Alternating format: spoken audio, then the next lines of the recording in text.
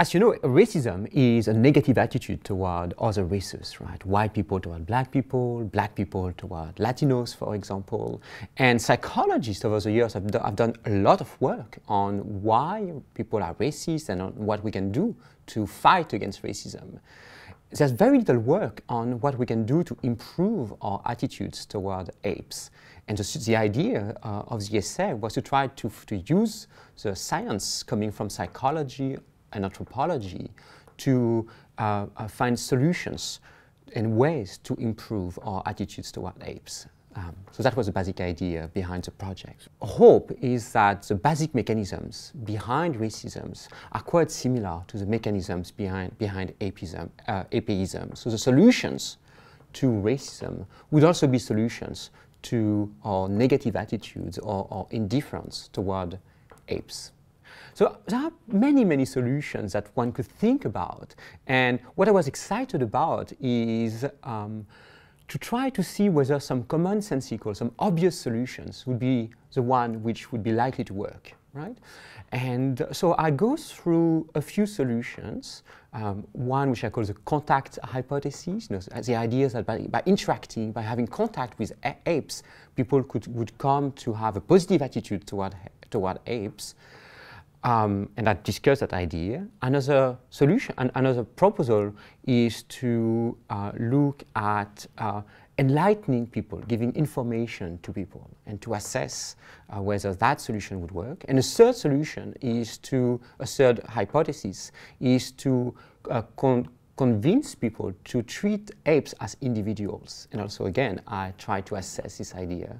It's part of the way we relate to apes on an everyday basis as a whole, as a species. Right? We very rarely view apes as individuals. So one of the goals was to, say, was to assess whether if we can change the way lay people relate to, relate to, to apes, view them as individuals, whether they would come to care about apes. And I think there are a lot of reasons to be very optimistic about this strategy.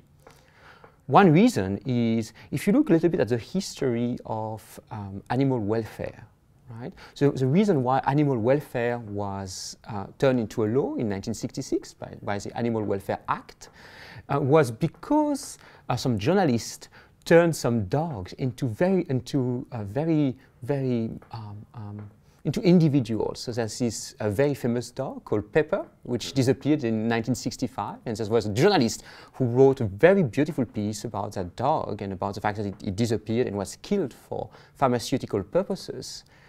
And as a result, most Americans got outraged. And the global outrage was very influential in convincing Congress to pass this now very influential law uh, which protects right, uh, which protects animals and give animals uh, rights.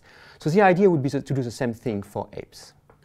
That goes both ways. Uh, on the one hand, uh, right now, often apes are, as I said, they're viewed as a species. We talk about chimpanzees, we talk about um, uh, uh, orang-utans, we talk about gibbons. We don't talk about specific individuals. So one thing the media could do is, whenever we talk about chimpanzees, we could describe specific individuals, right? And we could give them a life history. We could talk about their personality. We could talk about differences between various chimpanzees, for example. So the media, in fact, could change the way it, it relates, it describes uh, apes, and let people, people media consumers like me, like you, uh, we could, in a sense, change our relation to apes. And as a result, our emotional relation to apes would be transformed.